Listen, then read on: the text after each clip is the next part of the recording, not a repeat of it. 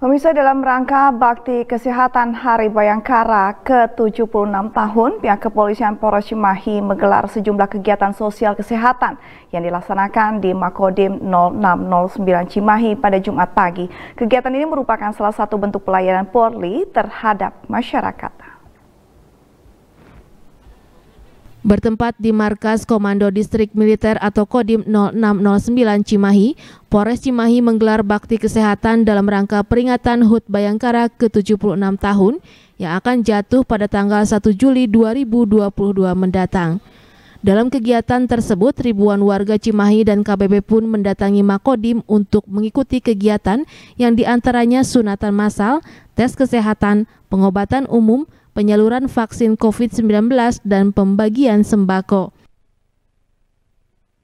Wakapolda Jawa Barat Brigjen Pol Bariza Sulfi yang hadir dalam kegiatan tersebut mengatakan jika kegiatan Polri kali ini dilakukan serentak di seluruh Indonesia.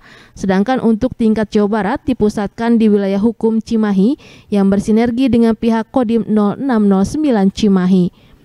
Nah, hari Bayangkara yang ke-76 eh, Polri khususnya Polda Jabar melaksanakan uh, kegiatan bakti kesehatan serentak seluruh, seluruh Indonesia. Untuk Indonesia dipusatkan di titik nol di Kalimantan Timur sedangkan di Polda Jawa Barat dipusatkan di wilayah hukum Polres Cimahi. Namun hari ini sebagai bentuk sinergitas TNI Polri dan seizin Bapak uh, Dandim kita melaksanakan di Makodim 0609 Cimahi.